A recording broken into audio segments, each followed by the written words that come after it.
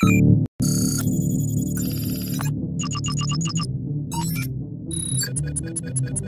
you.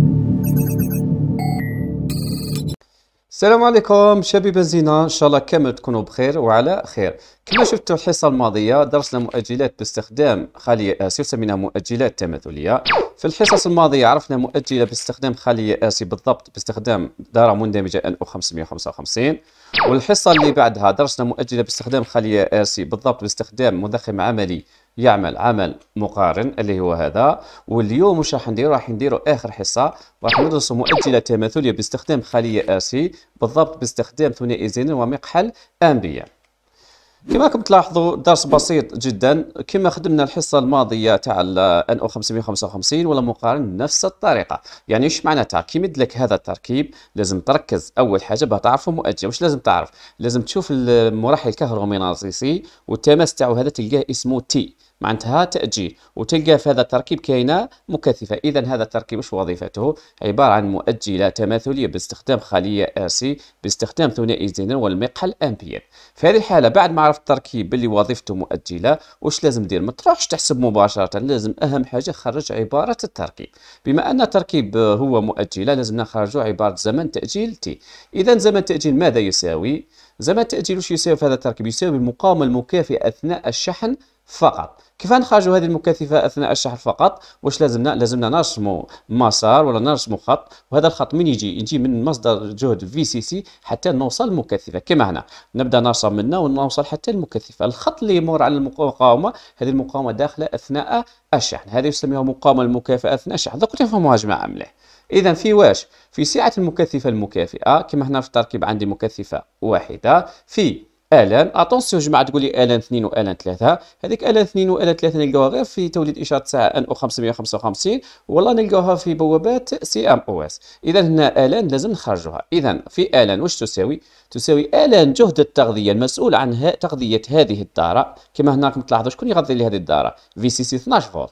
على ماذا؟ على جهد التغذية اللي هو نفسه 12 فولت. ناقص ماذا؟ ناقص الجهد المرجعي الذي يغير حالة المقحل دوك يا جماعة تفهموا كيف نجيبوا الجهد المرجعي هذا.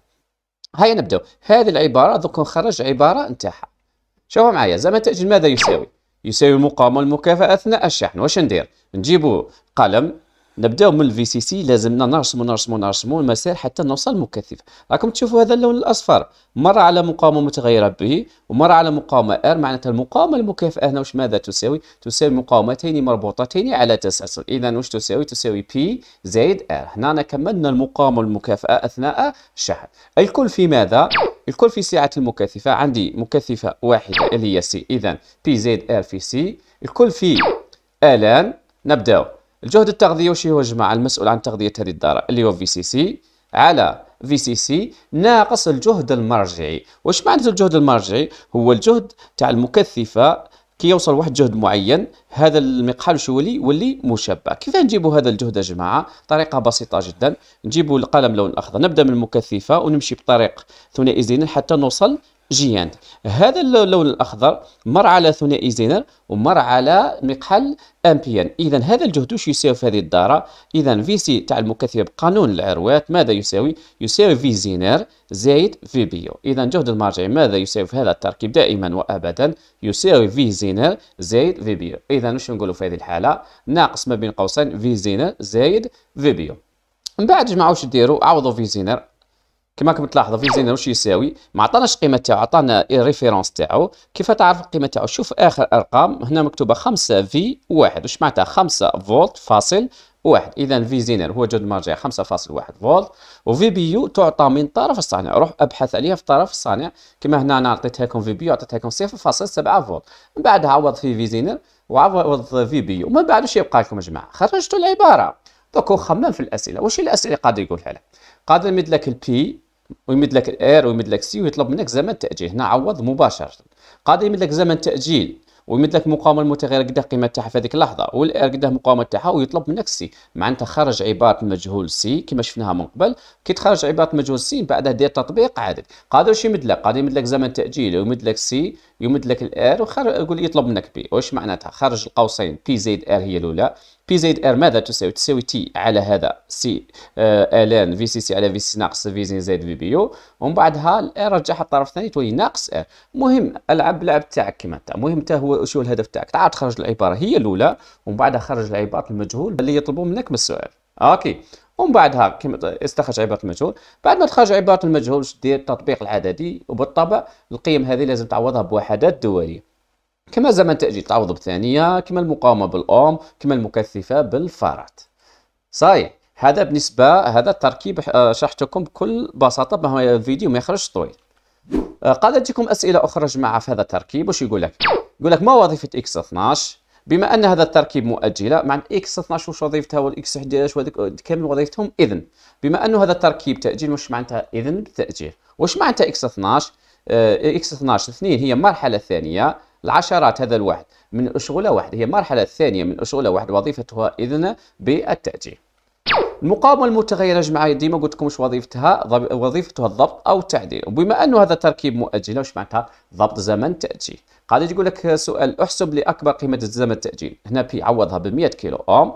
قاعد يقول لك أحسب لي أقل زمن تأجيل هنا بي هنا باش تعوضها بالصفر أوم. المكثف واش وظيفتها؟ وظيفتها الشحن والتفريغ.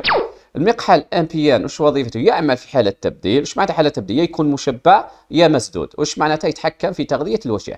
إذا كان مشبع فالوشيعة ممغنطة وتمس تغلق وينتهي زمن التأجيل إذا كان مانع آه، وش معناتها؟ دارة مفتوحة وشيعة غير ممغنطة وتمس يبقى في حالة راح يكون مفتوح. مازال ما كملش زمن التأجيل هنا ثنائية الديود هذه ثنائية الديود عليه يزيدوها باه يحموا المقحل من التيارات التحريضيه الناتجة عن التحريض الذاتي للوشيعة اذا هذه الديود شو نسميوها؟ نسميوها ثنائية العجلة الحرة. وظيفتها حماية المقحل NPN من واش؟ من التيارات التحريضيه الناتجة عن التحريض الذاتي للوشيعه والوشيعة والملمس هذا مع بعض واش نسميهم مراحل كهرومغناطيسية هذا المراحل شو وظيفته؟ وظيفته عزل دارة التحكم اللي هذه المؤجلة عن دارة الاستطاعة. هذه قاعدة تمشي 24 فولت 220 فولت 380 فولت إلى آخره. معناتها عزل دارة اللي الاستطاعة تاعها ضعيفة على دارة اللي الاستطاعة تاعها كبيرة. هذا بالنسبة للمثال الأول زيد نعطيكم مثال ثاني باش تزيدوا تفهموا هذه الدارة بكل بساطة.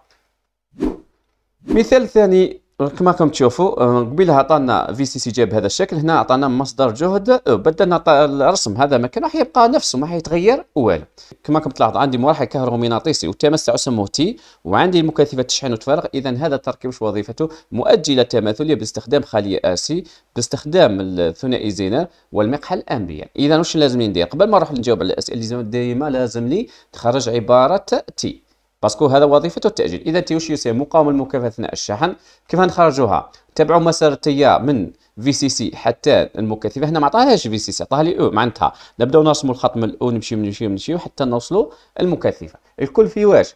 الكل في سعة المكثفة الكل في ln جهد التغذية. على جهد التغذية ناقص جهد مرجعي. بعد ما عرفت العبارة هذه روحوا نفسرها إذا زمن التأجيل ماذا يساوي؟ يساوي مقاومة مكافئة أثناء الشحن. كيف نعرف المقاومة مكافئة أثناء الشحن؟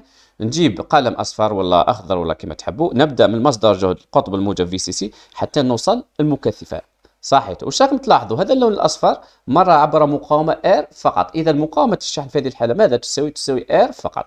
إذا أكتب هنا R. الكل في سعة المكثفة. وش هي سعة المكثفة؟ اللي هي C الكل في آلان آه، بالنسبة للجهد كما راكم تلاحظوا فيه شكون يغذي في هذه الدارة اللي هو جهد أو مصدر جهد أو على جهد التغذية وش هو؟ أو ناقص ماذا؟ ناقص جهد المرجعي. نجيبوا لون مختلف نبدأو من القطب الموجب تاع المكثفة ونروحوا حتى نوصلوا جي ان دي. كما راكم تلاحظوا المكثفة متى ينتهي زمن التأجيل لما يصل جهد المكثفة إلى جهد في زينة زائد جهد العتبة المقحل كما راكم تلاحظوا الخط الأخضر فات على ثنائي زينر وفات على المقحل NPN. اذا آه، ماذا يساوي هذا الجهد؟ يساوي V زينر زائد VBE. من بعدها بعد ما خرجت هذه العبارة زيدوا خرجوا قيمة V زينر و VBE عوضوهم بهذا الشكل. V زينر هنا قد اعطاها لي اعطاها لي 7.5 فولت. والجهد VBE جهد العتبة تاع المقحل قد أعطاه لي أعطاه لي 0.3 فولت. من بعدها عوضوا هنا من بعدها شوف الأسئلة اللي راح تطلب منك. إذا طلب منك T أكيد راح يمد لك ال R وال C وعوض مباشرة. إذا عطالك T وال C أكيد راح يطلب منك ال R وال R وش يساوي؟ يساوي T على C ln U على U ناقص V زين زائد VBE وإذا اعطى لك ال R وال T بالطبع واش راح يطلب منك؟ حساب سعه المكثفة. إذا C ماذا يساوي؟ يساوي T ونقول هذا كامل تساوي T على R ln U على U ناقص V زين زائد VBE من بعد كي تخرج عبارة المجهول بهذا الشكل من بعد واش دير؟ دير تطبيق عددي يعوض بالقيم الدولية. هذا بالنسبة للمثال الثاني وبنفس الطريقة قادر يسألك أسئلة. ما وظيفة X 11 X 11 بما أنه هذا تركيب تأجيل إذا X 11 هي المرحلة الأولى من أشغولة واحد. وش وظيفتها؟ وظيفتها إذن بالتأجيل. إذا المقاومة هذه ال R وش وظيفتها؟ تحديد زمن تأجيل. جماعة تخيلوا لو كان ما نديرش مقاومة R اذا تشحن مكثفة آنيا. اذا زمن التاجيل هنا واش يساوي الصفه الثانية تخيلوا لو كان نحب يكون زوج ثواني ولا أربع ثواني لازم تكون عندي قيمة مقاومة معين. على هذه مثلا لو كان نحب الصفة الثانية ما نديرش مقاومة. بصح واش ندير بزمن تأجيل الصفة الثانية؟ على هذه لازمني مقاومة معينة بتحقق لي زمن تأجيل. راني نبحث عليه أنايا.